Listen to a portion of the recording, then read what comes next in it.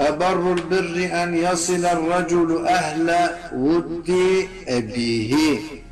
İyiliklerin en iyiliği neymiş biliyor musun bak. Hadise bak ne kadar ilginç. İyiliklerin en iyisi kişinin atasının atasının yani babasının arkadaşlarına gitmesiymiş. Ne kadar ilginç bir yer ya. Babasının arkadaşlarını sorması. Kişinin iyilikten en iyisi babasının dostu olanlara iyilik etmesi. Alimler diyor ki bu babasına iyilik etme hükmüne giriyor. Bu hadise binaen sen babanın dostlarına iyilikte bulunursan Allahu Teala aynı babana yaptığın iyilik gibi sevap yazacak. Resulullah'ı sevmek, Resulullah'ı tanımak ne kadar güzel şey. Neler bırakmış ya. Yarın sen de baba olacaksın. Değil mi?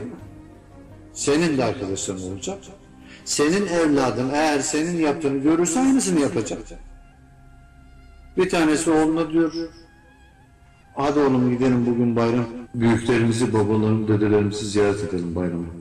Kabre. Gidiyorlar. Babası işte bir şeyler okuyor. Diyor oğlum ben de yarın öleceğim biliyorsun diyor. Sen bana ne okuyacaksın diyor. Ben sana gazete okurum baba diyor. Nasıl gazete lan diyor. E baba ben onu gördüm senden sen ne okudun ki bana diyor. Değil mi? Doğru. Ne okudu ki onu yani? Efendim te zaru makbara. فقرأ أبوه يوم العيد بعض الآيات لأجداده ثم نظر إلى طفله ولده أنت إيه تقرأ لنا يا ولدي؟ قال لما أنا أموت. قال والله أقرأ لك جريدة يا, مو... يا أبويا قال. جريدة؟ إيه يا ولد جريدة قال.